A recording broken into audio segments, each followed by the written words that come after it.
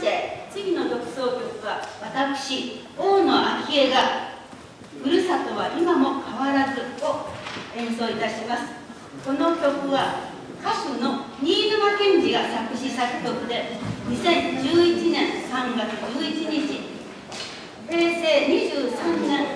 まだ記憶に新しいあの津波が押し寄せてくる光景が目に浮かぶ日本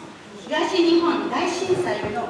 によって甚大な被害を受けたふるさと岩手県大船渡市そしてその半年後には最愛の妻を病気で亡くしました。このような大きな悲しみを乗り越えふるさとは今も変わらずと明